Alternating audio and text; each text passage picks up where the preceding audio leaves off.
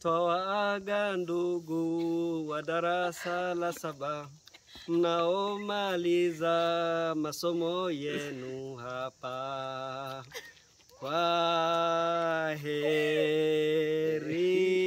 herini, kwani sasa mnaondoka.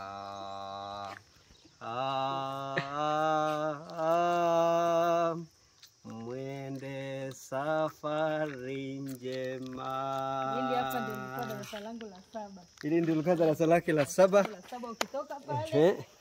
unashuka unaenda nyumbani. Unaenda nyumbani, unahamia kwenye shule nyingine. Uh, hapa ndio mahali amestudy Ruth elinema my wife, here in Suji.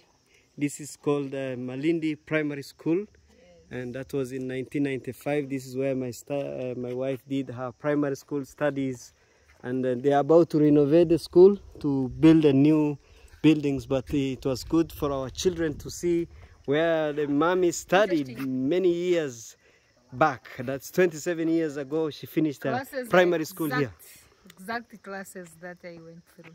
Mhm. That was a good memory. Mhm. But big renovation is needed and it's about to happen. Okay. So, which teacher do you remember? Oh, I remember many teachers. First one is Teacher Ruth. We like your name. We just greeted her. She was my teacher in class one and class one Mhm. and the class four. Mhm. So she taught me how to write and uh, count. she told me multiplication. multi- multiplication.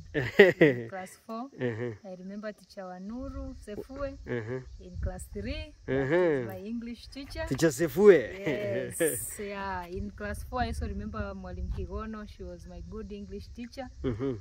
In class 5 I remember Mwalim Charlie. Mhm. She Charlie. was my mathematics teacher. Mhm. She left a mark. Mhm. Class 6 English teacher Mwalimu Wanuru again came. Mwalim Charlie again came. Mhm. And uh, I, yeah, the other teachers there. I remember class six, all teachers were very serious. I, I remember teacher Ruth again came for history in, in class six. Mm. So I remember my teachers. And uh, class seven, Mhm. it's like almost every teacher now was working on us to prepare us for the for the exams. So Oh, those are my good memories. Mwalimu Wenza, our head teacher, Mm.